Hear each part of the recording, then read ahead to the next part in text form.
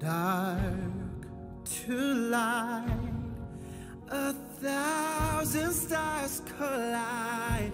I'm a little bit obsessed with the Jeremy Kyle show. Like, I mean, I don't watch it all the time, but it's a sort of good memory because I don't know why, but every time I've been in a hotel here in the UK before moving here, I turned up the TV and the Jeremy Kyle show was on. I don't know why. So it's such a good memory. I know it, it sounds weird that Jeremy Kyle show is a good memory, but it actually is. Yeah.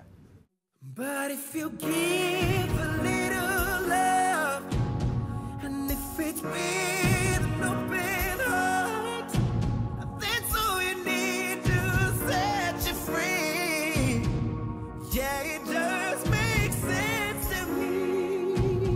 I just love living in London. And I think, yes, I'm getting used to it because, like, when I go back home and then I came, I come back here, I don't feel like I'm leaving home. I feel like I'm coming back home again, which is nice. It's very nice.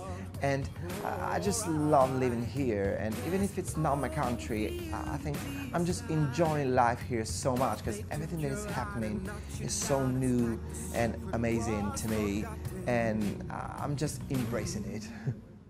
But if you give a little love, and if it's with an open heart. I don't really have time to get homesick because when I'm here, I'm quite busy, which is very good.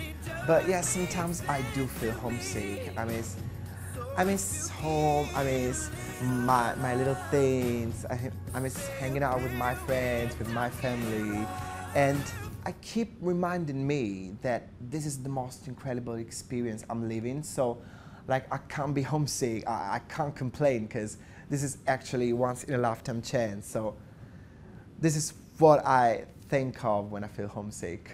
So if you give a little love, say a prayer when something's. That's all you need to set you free. Yeah, it just makes sense to me.